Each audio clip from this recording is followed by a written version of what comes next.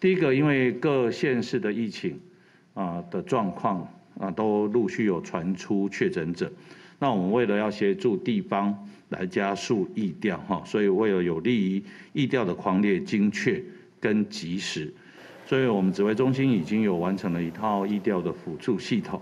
那我们会跟地方一起来做配合，将资讯的滚动，那来提供给地方政府在疫调上来做使用哈。指挥中心也表示，中央已协同地方政府持续加强防疫旅馆设置量能。那目前现在全国总共有一万九千一百七十四间哈，这个是目前为止。光局跟地方政府大家还是持续在通力合作哈。那所以准备接下来会达到两万。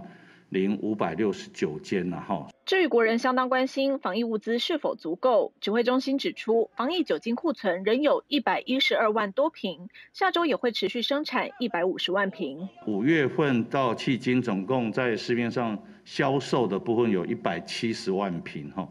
那目前酒精的库存量有一一百一十二万瓶，那这些都已经啊，请物流业者。在这几天都加班的去做配送哈，那下周啊，包括台酒加上这个啊五家的民营酒厂，那大家一起要排定，下周会生产的量是一百五十万瓶。